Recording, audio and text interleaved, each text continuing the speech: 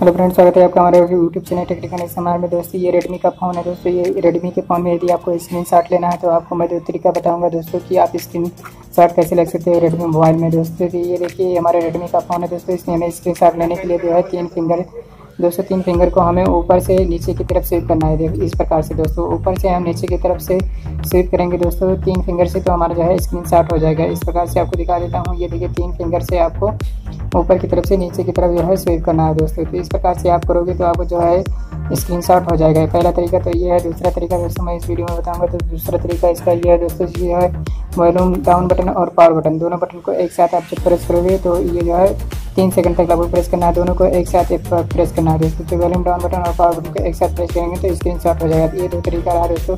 आप अपने रेडमी की कोई भी फ़ोन में दोस्तों इस प्रकार से आप स्क्रीन शॉट ले सकते हो दोस्तों। कैसा लगा वीडियो कमेंट बॉक्स में ज़रूर बताना।